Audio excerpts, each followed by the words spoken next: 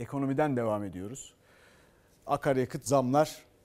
Yani buna ne başlık atacağız bulamadık. Zam zam zam dedik.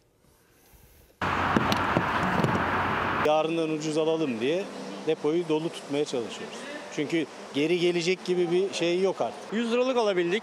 100 lirayla e, uzun yollara gidebiliyorduk. Şimdi ancak evimize gidebiliyoruz. 100 liralık benzin mi olur gibi. Sok çıkart 100 lira gitti. Ama yapacak bir şey yok. Gaza basmıyoruz. Ayağımızın gaz pedalının altında yumurta varmış gibi. Benzine 1 lira 45 kuruş, motorine ise 1 lira 40 kuruş zam geldi. Benzinli bir aracın deposu bir gecede 80 lira daha pahalıya dolmaya başladı. Zaten depoyu doldurabilmek lüks artık. Lüks oldu. Gerçekten lüks oldu. Depoyu mesela 1200 liraya doluyor yani. Yani şu anda daha da artacak. Şu anda doldurmak bile istemiyorum mesela. Ama kullanmak zorundayım mecburun. Gezmeyi zaten geçtik. Onu yapamıyoruz zaten de. Hastamız olduğu için aracı kullanıyoruz. Normal şartlarda evimizdeyiz. Çıktığımız yok. Toplu taşım kullanıyoruz. Tam bir yıl önce benzinin de motorinin de fiyatı 7 lira seviyelerindeydi. Bugünse son gelen zamla birlikte benzin 24 lirayı, motorinde 23 lirayı geçti. Yani bir yılda artış %200'ün üzerine çıktı. Paranız elinizde hazır ne kadar? Evet, 400 Kaç depo litre geldi? 17 litre geldi. 37 litreyi 270 liraya almıştım.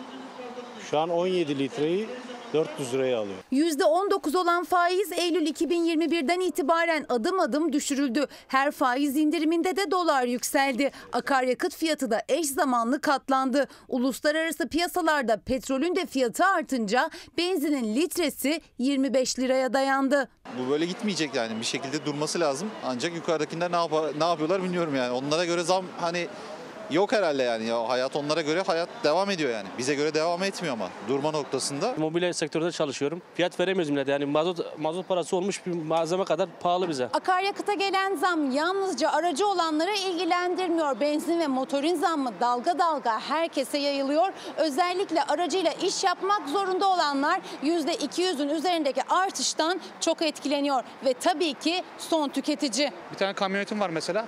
Onunla genelde mobilya sevkiyatı yapıyoruz.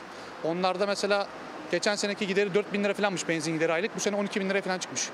Mecburen ürünlere yansıtıyorsun. Bu sefer de ürünlerin fiyatları artıyor. Zaten malzemeler pahalı. Bir de rakli oldu mu millet ister istemez müşteri vazgeçiyor. Yani bilmiyorum nasıl olacak.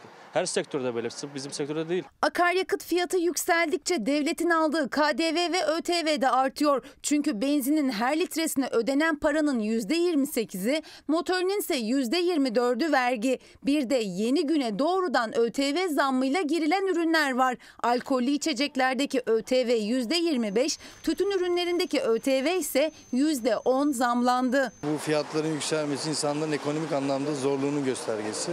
Duruma doğru gitmiyoruz. Bunu biliyoruz. Dünyada var mı durum var ama Türkiye için daha zor.